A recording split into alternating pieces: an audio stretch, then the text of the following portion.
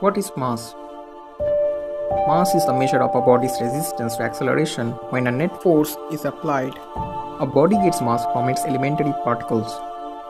In the standard model of particle physics, we have the elementary fermions, the quarks and the leptons that make up all matter, and we have elementary bosons that carry forces. These are the basic building blocks of our universe. But what gives mass to the elementary particles? Well, there is something called Higgs field that fills up all the universe. It's literally everywhere. When the particles move through it, they gain mass by interacting with this field.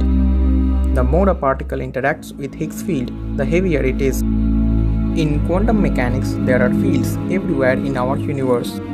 When energy is given to these fields, they vibrate, but when those vibrations are observed, they become particles.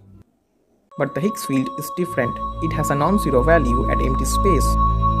Like all fundamental fields, the Higgs field has an associated particle, the Higgs boson. When the field vibrates a lot, we call it a Higgs boson. Now, it's not the Higgs boson, it's the Higgs field, which gives mass to the elementary particles. Higgs boson only helps us in detecting the Higgs field Without Higgs field, all particles would become massless and start moving at the speed of light. So there would be no atom and also no matter. To experimentally detect the Higgs boson on the Franco-Swiss border near Geneva, Switzerland, scientists had built the world's largest particle accelerator, the Large Hadron Collider or the LHC. Throughout the years 2011 and 2012, ATLAS and CMS detectors were collecting data of the invariant masses of the photon pairs which were being produced in the LHC from the collisions between two protons at a speed of 99.99% of the speed of light.